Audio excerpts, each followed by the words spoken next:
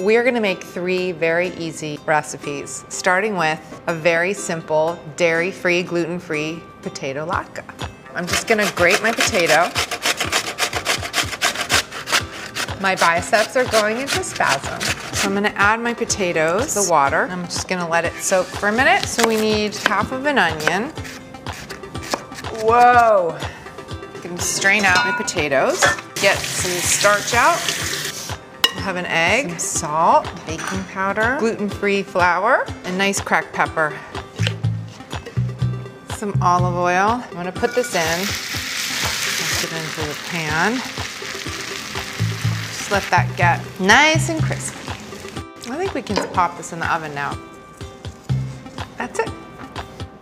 Healthy holiday side number two, oven roasted caramelized carrots. Couldn't be easier. You don't even have to peel the carrots if you don't want to. Just cut them in half down the middle. Beautiful purple carrots. So I'm gonna put these on my baking sheet and take about eight shallots and throw them on the pan.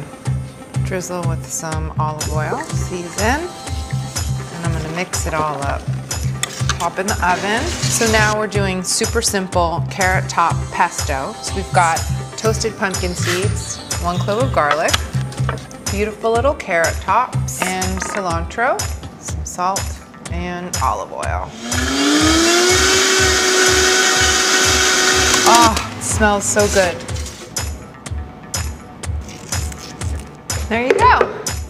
Grilled radicchio and pear salad. Cutting through the core. drizzle it with some olive oil,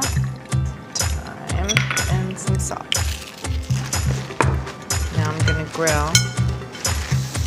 Radicchio is one of my favorite lettuces. It's very bitter. That's why we like to pair it with something nice and sweet. I find that when you grill it slowly, just the flavors get really complex and yummy. So let's finish with some salt, some pepper, just a little drizzle of balsamic, and there you have it.